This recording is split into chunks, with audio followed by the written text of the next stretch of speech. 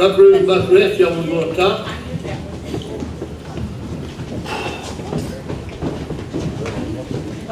While we're letting the little ones run up top, I've got a grand announcement to make. We have more new members to the church. Deacon Legree, stand up.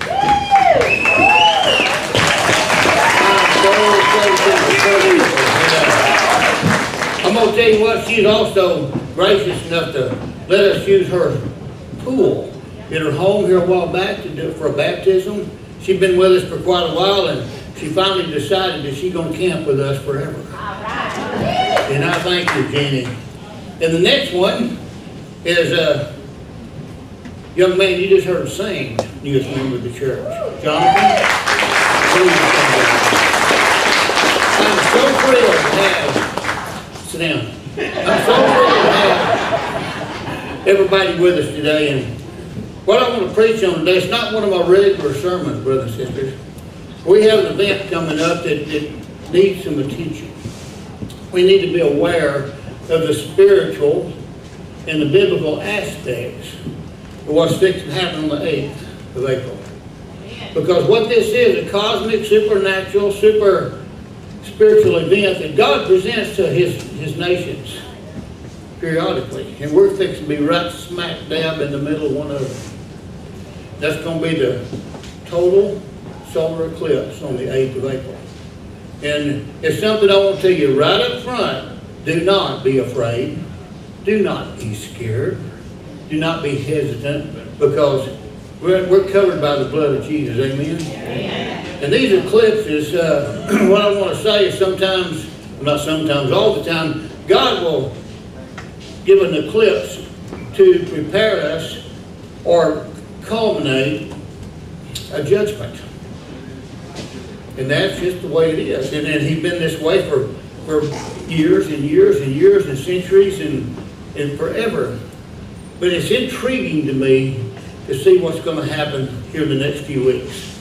Let me go forward in prayer right quick. Father, I pray you in Jesus' name that uh, what you're giving me here in the words of other scholars that I study with and study the, the word in the Bible and the scriptures that this is the truth from you.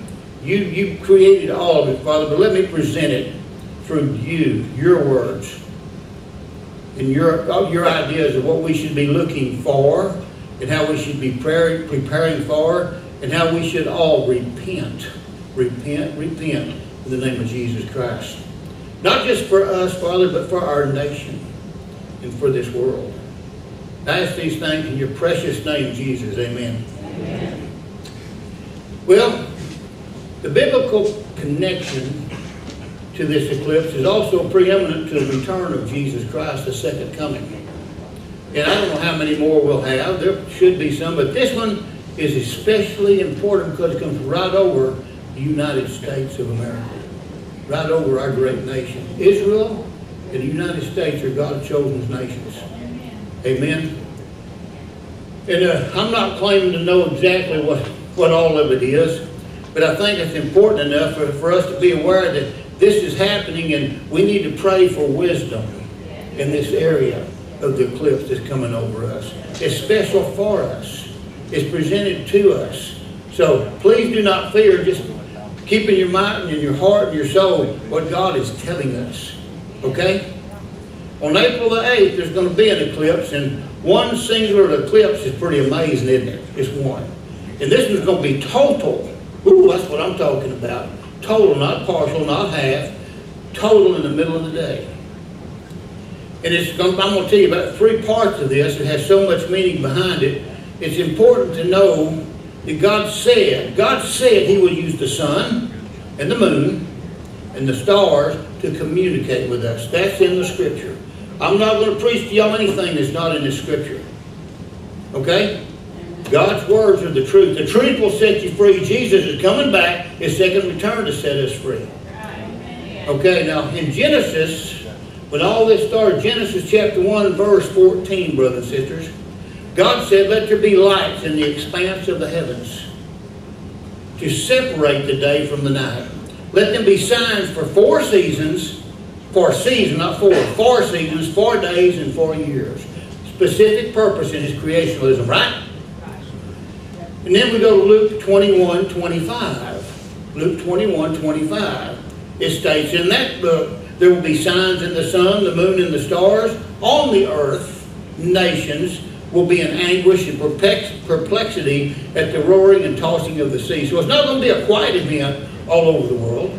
There's going to be some major things happening. There's going to be blessings. There's also going to be catastrophes. There's going to be buildings. There's also going to be things being taken down. God's judgment is going to pass over his nations, brothers and sisters, and we're all going to be a part of this, somewhere, somehow. And uh, so you know that God said he would use the sun, the moon, and the stars to communicate. Well, let's break it down, like I said. There's three parts to this, 2017, 2023, and 2024, where I'm going to go with it. With the path of the last eclipse, eclipse combined with the first two, uh, one in 2017, and I said, with the path of this last, not that last, this last one. Okay? It'll it will create the Hebrew letter over America that is called the Aleph Tav. Tav. And do y'all know what the Tav is? That's the best biblical. It's a Hebrew letter It's going to be over our nation. And it's, it's shaped like an a but also there's a cross in there. And it means the Alpha and the Omega. That's what the Tav is, okay? It means the beginning and the end. Aleph Tav is like his signature. That's God's personalized signature of the Tav over his nations. That's coming over us, brothers and sisters. How great that is, how great thou art. Amen? Why would he use an eclipse to put his signature over our country, America? Well, let's just kind of do it like the chickens. You know, we'll do scratch and see if we can find the right bugs. Who's laughing over there? I know it was. I'm, in my, I'm a country boy. I like these examples. But he's used eclipses to warn nations of coming judgment. Now let's get back down to some serious talk right here. And he does that so the nation can repent of their sinful ways and come back to him. This is what happened in the story of Nineveh. Y'all remember Nineveh and Jonah?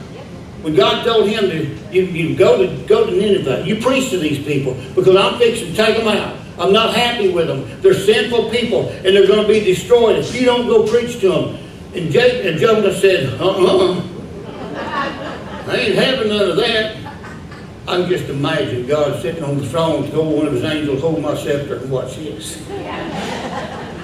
because Jonah was taught and he, he was shown that he better go to Nineveh because he run the other way.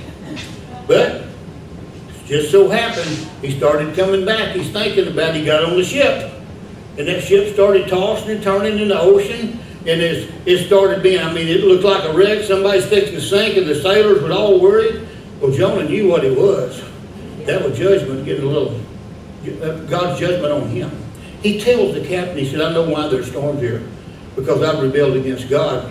He said, I just, I just seen be chunked over. they did it. They chunked him over the side and the waters calmed. But just about that time, when the waters calmed, there was a giant fish, a great fish. It doesn't say whale in the Bible, it says great fish. Come swimming up and, and swallowed him whole. He was in the belly of that fish for three days. That's a lot of time to think, isn't it? And you know, you don't think about nothing being fishy, you're thinking about God. He's thinking, well, the fish gets up close to Nineveh, close to the edge of the shoreline, and spits him out. He makes it to the town of Nineveh.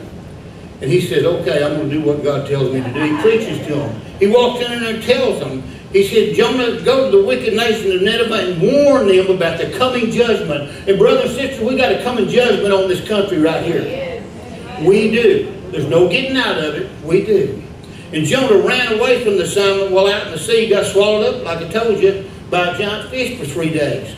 Well, he repented of running away, so the whale spit him out. He went to Nineveh, and here, here it is. He warned the people there was something about to happen.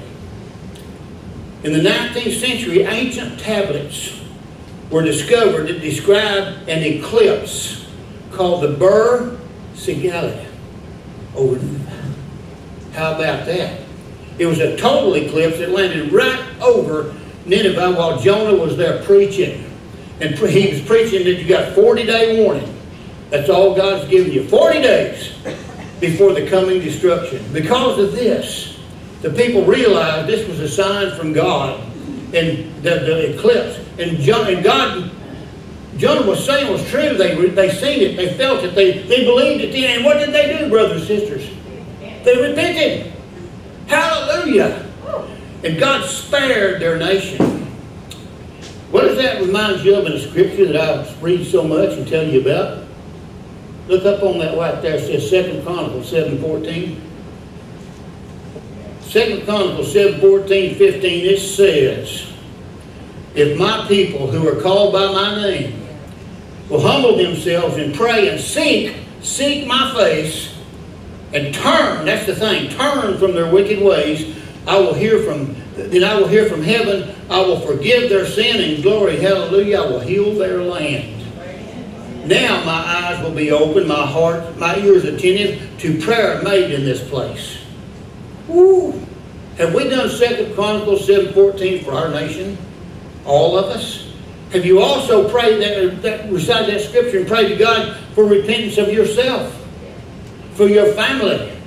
Because hard time, we ain't seen nothing yet.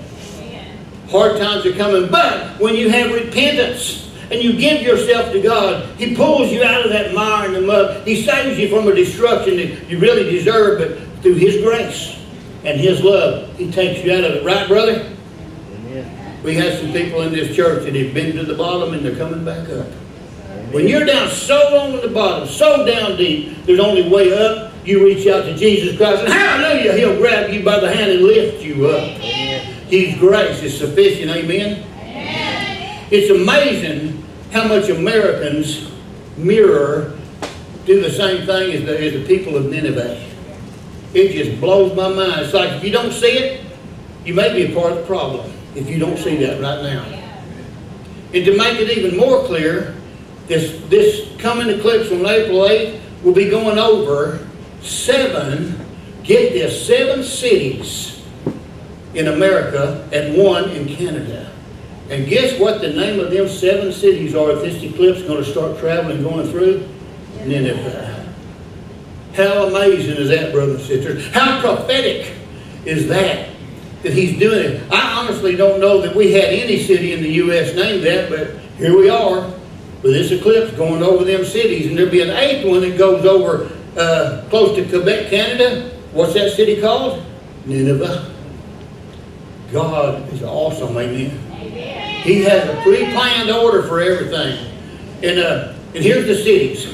Nineveh, Texas, Nineveh, Missouri, Nineveh, Indiana. And when it hits Indiana, that's going to be the highest magnitude of the eclipse. And it'll be, uh, magnitude is 1.023. The local time predicted to occur is 307. Now numbers are important also in the Bible. Threes, seven. Seven is perfect number. So that's something we'll talk about a little bit more, but that's I want y'all to research the importance of God's numbers in His Bible. Next, it'll go to Nineveh, Ohio, then Nineveh, Pennsylvania, Nineveh, New York, Nineveh, Virginia. I got Virginia first, then New York, and then it'll go to Nova Scotia. I said Quebec a while ago, Nova Scotia, Canada. Well, what does Nineveh kind of mean. Have you ever wondered what the, where the name come from? It's a house of fish. It's the largest of all the Neo-Assyrian Empire and the world for many decades. It was a grand, great city of trade for many decades. And it was abandoned in 612 BC. Had 120,000 people in the city of Nineveh. Hmm. Tell you what, could this be that God is warning us, just as He warned Nineveh with this approaching eclipse? Do y'all think that? Have you felt that? Have you wondered that? Everything is possible and many things are probable with God and His prophetic words. There's been many Jonahs in the past few years warning the nation we need to repent and add this sign above our heads. We can't turn away from the fact it's not just a coincidence. Amen? If you need more proof, I'm fixing to give you a little bit. The first part of this, this three-part eclipse was in 2017. The path of that eclipse went over seven cities. Now this is the first part, 2017. It went over Salem, Oregon, Salem, Idaho, Salem, Wyoming, Salem, Nebraska, Salem, Missouri, Salem, Kentucky, Salem, South Carolina. Seven cities, one place, seven cities, another place. And there is no town ever as biblical as Jerusalem. Where does Salem come? The last part of Jerusalem. Salem. In Hebrew, Jeru, it means God will lift. It will flourish. Isn't that something? That's a blessing. And Salem means complete and whole. God will lift and make whole. I love it. Man, the mathematical, the mathematical chance, all you teachers out there can cipher this, I, I can't go that high. The mathematical chance of there being seven Salems in the first and seven Ninevehs in the third eclipse is unthinkable. Yeah. But what about the second part of the eclipse? Perhaps the most striking piece in the second part of the eclipse is the precise, I mean precise on the dot, hmm, how can I say, center line. Center line is what it is. And it, it, it, where the eclipse path exits the USA directly over Corpus Christi. Corpus Christi means body of Christ. I've known that for a long time, but now it's making sense when you connect the dots of God's plan. It's one of the only towns named like that in the world. Okay? Now let's go back to the upcoming eclipse and dig a little deeper. Jonah. Jonah was given 40 days. Remember I told you? He gave 40 days to repent. 40 day warning and, and, during the eclipse. And if you look out at our April 8th eclipse and fast forward 40 days, you will get to May 18th from April 18th. What is May 18th, brothers and sisters? Y'all know? It's the day before Pentecost. Biblical again, amen. Lines connecting. The history of the Pentecost is that it's the last spring fest that the Lord has given us. There's four in the spring and three in the fall. Okay? This is the day the Lord sent the Holy Spirit down to all those who have accepted Christ. I'm going to stop right there and I'm going to ask you, have you accepted Christ? Yes. Very important. If you have not, please come to me later. Or come to me now. We'll stop this whole chivalry. Because accepting Christ is the only way you'll have eternal salvation. Eternal life, eternal living, free from bondage and slavery, free from pain and torture. Amen? We're told that the restrainer during this may be, many believe it's the Holy Spirit will be removed before the tribulation. I believe that too. Before the trip happens. Could it be that's a warning for that? I don't know, but I'm, I'm probably thinking it may be. Amen. I'm not sure it's a worldwide event, and this eclipse will be just over North America, but it's definitely something to think about. Because who created the rest of the world? God.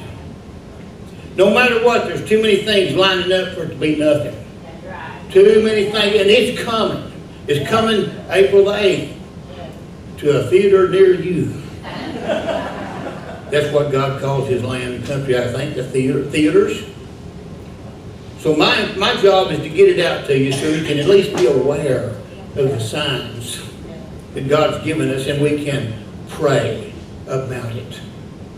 Without prayer, we have no ammunition. Without prayer, we have no weapons. We have the body, we have the armor of God, but you have to have prayer, faith, belief. Amen? Amen. Well, from the start of this three-part eclipse to the end, it will be seven years. That's the number seven, perfect number. Uh, God uses numbers a lot to communicate with us, and seven, the number seven has tons of meaning. A few examples are, He created the, the world in how many days? And there will be how many years in the tribulation? Seven. And seven is used for completion. Woo! I like this, y'all. Going back to how this correlates with Jonah and Nineveh's story, at the time of the eclipse, there'll be another sign in the sky that'll take place under the constellation Cetus. Now, I believe in the constellations. God, He created the stars, the planets, the constellations for a reason It's not just to sit out there in science class and look at them and say, I think I see the dipper. Yeah. He made these for a reason, brothers and sisters. And uh, Cetus is the whale constellation. And not only will this eclipse pass through the, the seven cities of North America and one in Canada, it'll also pass through a place called Jonah, Texas. Oh, how odd is that? Woo! It's not odd, it's God. Odd and God are two different things, amen? Speaking of the other towns it'll pass through, here's some of the other city names that'll go right over. Now this is just, it made me just i almost swallow my cookie. Rapture, Indiana. I had me a cup of coffee and Oreo. I should have put one of them down when I seen that. Rapture, Indiana. Williamstown, Kentucky. It's going right over that town. That's where the Ark Encounter is located. Amen. Some of y'all been there, right? The Ark Encounter is a full-size replica of Noah's Ark. Now, here's one that's near and dear to my heart. My little bride sitting back there, I bet she knows where this is, Eagle Pass, Texas. When this eclipse comes out of Mexico, where's the first place it's going to hit on the Texas coast? Eagle Pass, Texas. That's where we're having right now so many border trouble issues. Amen? There's, there's dilemma there. There's, there's trials. There's tribulation right there in Eagle Pass. At this point, where it crosses the, the 2017 eclipse mark to the center of the X, I was telling you, Bart, that's going to be in a town in Illinois called Little Egypt. Boy, don't you think God knows what He's doing? What's even more fascinating is that Little Egypt is sandwiched in between two other cities. Now, you heard me say this in the beginning of all this. Alpha, Kentucky, and Omega, Illinois. Alpha, Omega, the beginning and the end. Woo! Does that give y'all goosebumps? It should, brothers and sisters. Both having the 2017 eclipse come over their cities. Furthermore, the intersection of 2017 and 2024 solar eclipse occurs directly over the new Madrid fault line. It, it is a major seismic zone, earthquake possibility. You know, we, we talks about earthquakes, wars. Keep it in mind now. Do not fear. Don't be afraid. We have God. We have it all. We have Jesus. We have protection. An earthquake along the fault line, if that happened, it could destroy the United States making it one of the most perilous fault lines in the country. And I don't have any idea this will happen or not. Only God knows timing. Only God. Angels don't know, Jesus don't know, I don't know, but God knows. And He's going to have timing one day He's going to go, son, get it. There's too many things in here just flat, literally lining up not to share with everybody. One more interesting fact, there's 2,000 422 days in between the 2017 eclipse and the 2024 eclipse. Hmm. If you look up 2422 in Strong's Concordance on Bible Concord or Bible Concordance, that has every word of the King James Version takes us to Exodus 119. This is super right here. Exodus 119. And it says, The midwives answered Pharaoh, Hebrew women are not like Egyptian women. They're vigorous and give birth before the midwives arrive. Oh my goodness. Why would this be of any significance? You, you might ask. Well, to me, it reminds me of how Jesus said that his return would be like a woman in labor. Mm. With the signs of his coming growing stronger and stronger and growing closer together, the pains, birth pains of Amen? We're all at a point in history where we're seeing all the signs that he gave us happening right before our very eyes, brothers and sisters. This is wonderful. I'm excited. Come, Jesus, come. Right now would be soon enough for me. In fact, we're seeing things that'll happen during the tribulation getting set up right now. As we're preaching and, and, and, and like the Bible said we would be doing. But we're getting we're seeing them getting set up. If we're seeing those things being set up now, it must mean we're just be we're getting super close to it happening. Amen. Amen. I'm, I'm so tickled I can hardly stand it. I was back. I was walking the floor back there. I thought Ernest Tubbs was the one that said, "I'm walking the floor." I'm walking for the Lord. I'm excited. I'm tense. I'm happy. I'm just. I'm looking forward to God's events coming to us. Hmm. going back to God saying that He uses the sun, the moon, and the star to show us signs, and Jesus saying the signs of His coming will be like a woman in labor. Well, this information leads us back to Exodus 1.19, explaining that the Hebrew women have labor facts so fast is so interesting to me. Could we be on the brink of the rapture and tribulation? I don't know. We could be. We may not be. God knows the time. I don't know exactly when it happened, but Jesus did tell us we know the season. Amen? Amen? And I believe we've been in the season for the past few years and we're pushing closer and closer and closer to it. So what do you do with all this information? It is no secret what God has done. Listen, it's no secret that this world has gone mad. And everybody knows that there's something happening. Everybody, all y'all sitting out here in the congregation, you know something's happening. You can feel it. You can sense it. You know God's on the move. And behind the scenes, that feels uncomfortable for some. Not me, brothers and sisters. I'm happy and joyous because I'm aware, I'm unafraid, I'm getting more knowledge as we stand here today. And if you have that feeling, you're right, there's a major push for things happening and that were predicted to happen 2,000 years ago. Most people seek their understanding in the wrong place. They're looking for answers in the wrong places, brothers and sisters. They look to the news and to this world to give it to them. Wrong place to be looking because these sources will only bring more questions and not answers. They lead you on. They lie to you. That's the enemy. Satan's still doing his work that he done in the garden. And he's got a bunch of them by the, by the ears right now. If it causes people to live, this is what I don't like, in fear. It causes people to live in anxiety and depression. Amen? God, the enemy will do that. Satan says, I've got you. I've got you. God says, turn him loose if you take him as your savior. Jesus don't want us to live that way. He give us information so we know what's happening when we see these things that we are seeing now. Amen? Amen? The first piece of living is His knowledge and accepting that God sent His Son Jesus to die for our sins. And on the third day, there's a number three again. On the third day, Jesus rose from the grave and conquered death. And the second piece is the most important of all. And every single person sitting here today, I want you to think about this. Repent, as it said in Second Chronicles. Repent from the sins of your life. Repent from anything that just turns you away from God idolizing anything like drugs, alcohol, pornography, all that stuff. We've talked about this many times. Repent. Repent for the day is near. I was John the Baptist. We're sitting down there with that tub full of water.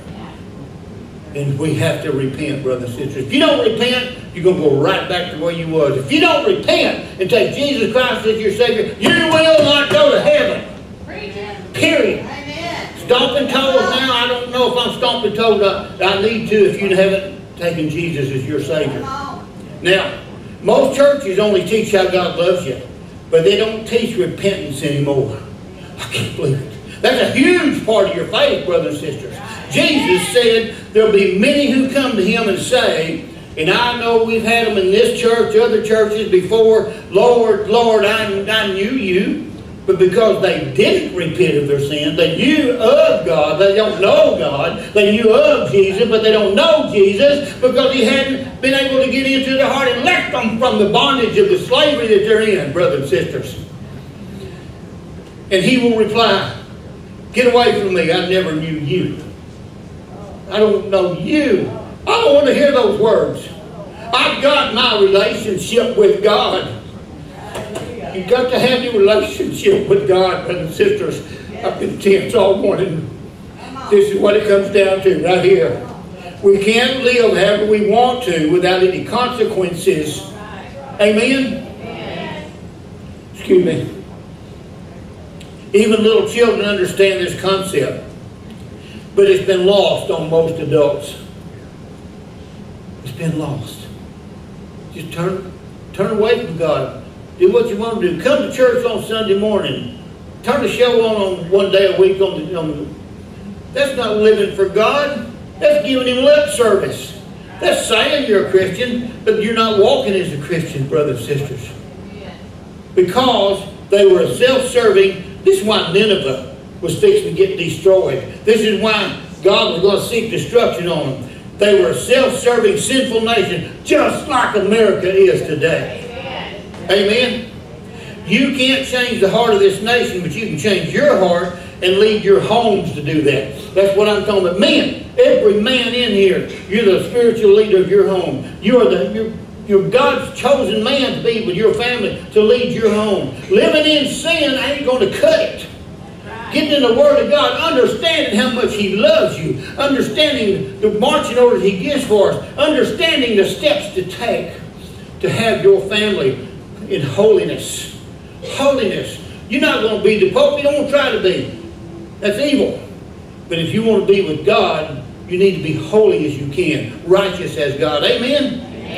And you're not going to walk. You're not going to walk in on, on golden paths all the time. You're going to stumble and fall. But Jesus Christ will pick you up. He says He will. His promises are promises kept, brothers and sisters. You can't change the heart of this nation. Change your self and your family and your homes. And third, pray for wisdom in these areas that I've talked to you about. I only know this has been in, it's been in deep. We've I haven't been up here long, but it's been incredibly deep. And just like Proverbs 25, 2 says, it is the glory of God to conceal a thing, but the honor of kings is to search out a matter. Do I need to read that again? Mm-mm-mm. Proverbs 25, 2. It is the glory of God to conceal a thing, but the honor of kings is to search out a matter. This sign in the sky will be right over our heads in just a few weeks. Now, will you use the eyes you have to see what this event is going to be? Amen? Solar total eclipse. Going to be about four, four and a half minutes long. And you know when that eclipse happens, this is a spiritual thing. And I'm believing it's, it's God showing us right up front in our face. When that moon covers the sun, it's going to cover, and you're going to see a glow around the whole thing.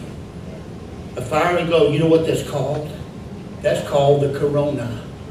What is corona? That's a crown. This is biblical, brothers and sisters. It's important. And Texas is going to be right, right, it's going to ride over us. I'm going to say, repent. Repent for our nation. As Second Chronicles 7.14, God tells us. He's not just telling me. He's not just telling me. He's telling y'all.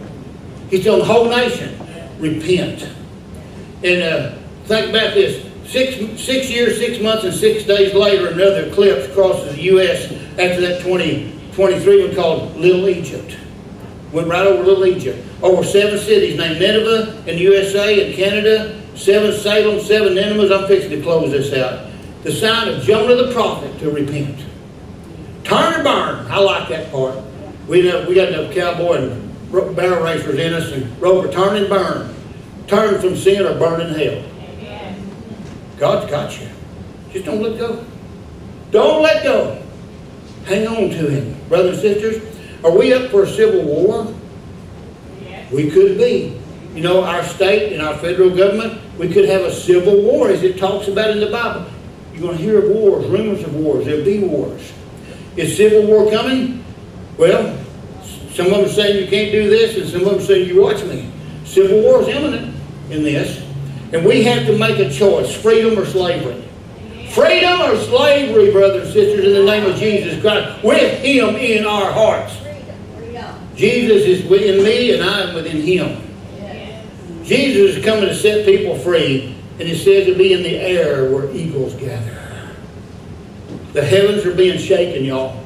The heavens are being shaken above us as we're sitting here this morning. Joel 3.16. We know John 3.16, but listen to what Joel 3.16. It is the voice of God that causes the heavens to shake. Hallelujah. Our God, the most awesome God. God's speaking to you now. He's speaking to all of us. He's speaking to his nation through this big event that's coming. Now hear this. I'm going to close with this statement. The church can survive without America, but America cannot survive without the church. Amen. Strongest statement I can make. Stand up and make sure you're in covenant with God. Stand up and, and make sure your heart's right with Him and not on the wrong side of things. Let's go to the Lord in prayer. Father, thank you so much for this strong message, this strong word you have for us today. Things are coming at us fast, Father. They're coming at a, at a run. Let us be prepared. We know now through your words and your message, Father, what to look for. We know now with, the, with Jesus inside of us and Jesus leading us, we can, we can win this battle that's coming. We can bring salvation back to our country, your nation, Father, and ask in the name of Jesus that that is accomplished through your Son, through us, seeking your face, through this nation, humbling and repenting, repenting from our sins, turning away from our sins, walking with you, Father. I pray this in your precious, precious name. Jesus Christ, our King of Kings, our Lord of Lords, our Savior, in your name. Amen. Amen. Hallelujah. Hallelujah. Y'all come back next Sunday, Easter Sunday, and we're going to have a message for that that just gives him the glory. Amen. Thank you.